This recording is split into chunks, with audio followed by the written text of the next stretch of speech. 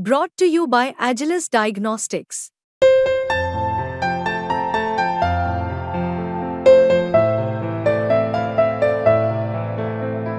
Agilus Diagnostics.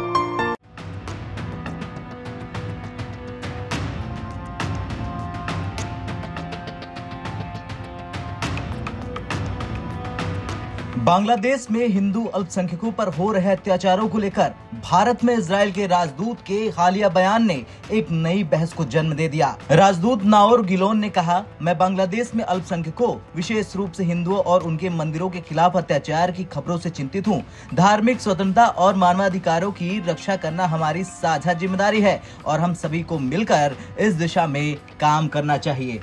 ये बयान ऐसे वक्त में सामने आया जब बांग्लादेश में हिंदुओं के खिलाफ हिंसा और उत्पीड़न की घटनाएँ बढ़ रही। बता दें, बांग्लादेश में हिंदू अल्पसंख्यकों की संख्या में लगातार गिरावट आई है। उन्नीस में विभाजन के समय बांग्लादेश, तब पूर्वी पाकिस्तान में हिंदुओं की जनसंख्या लगभग 30 परसेंट थी, जो आज घटकर 8 परसेंट रह गई। बांग्लादेश में हिंदुओं को धार्मिक असहिष्णुता, हिंसा, जबरन धर्म परिवर्तन और संपत्ति हत्याने जैसी समस्याओं का सामना करना पड़ता है। हिंदू मंदिरों पर हमले, मूर्तियों की तोड़फोड़ और हिंदू महिलाओं के साथ दुर्व्यवहार के मामले नियमित रूप से सामने आते रहते हैं। हिंदू अल्पसंख्यकों पर हिंसा की घटनाओं में उल्लेखनीय वृद्धि हुई। इन घटनाओं ने अंतर्राष्ट्रीय मानवाधिकार संगठनों और मीडिया का ध्यान आकर्षित किया। कई हिंदू परिवारों ने सुरक्षा की तलाश में बांग्लादेश छोड़ भारत या अन्य देशों में शरण ले ली। वैसे इसराइल के राजदूत का बयान एक महत्वपूर्ण समय पर आया जब बांग्लादेश में हिंदुओं के खिलाफ हिंसा और अत्याचार की घटनाएँ बढ़ इसराइल जो स्वयं एक यहूदी राज्य है और धार्मिक अल्पसंख्यकों के अधिकारों की रक्षा के लिए प्रतिबद्ध है, उसने इस मुद्दे पर अपनी गंभीर चिंता व्यक्त की।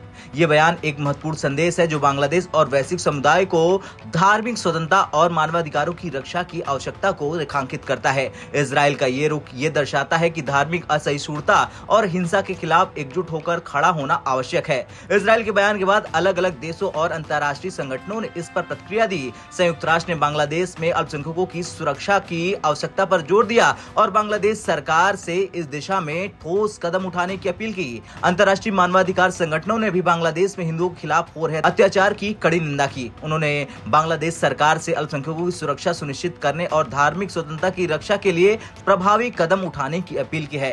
बता दें, भारत ने भी इस मुद्दे पर अपनी चिंता व्यक्त की है और बांग्लादेश सरकार से हिंदू अल्प अल्पसंख्यकों की सुरक्षा सुनिश्चित करने की अपील की है।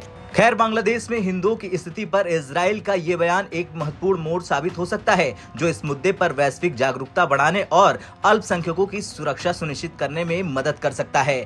धार्मिक स्वतंत्रता और मानवाधिकार की रक्षा के लिए अंतर्राष्ट्रीय समुदाय को मिलकर काम करना चाहिए ताकि हर व्यक्ति को बिना डर और भेदभाव के अपने धर्म का पालन करने की स्वतंत्रता मिल सके। आपका क्या कुछ कहना है इसराइल के इस बयान को लेकर? कॉमेंट कर, कर ज़रूर बताएँ। ब्यूरो रिपोर्ट भारत तक।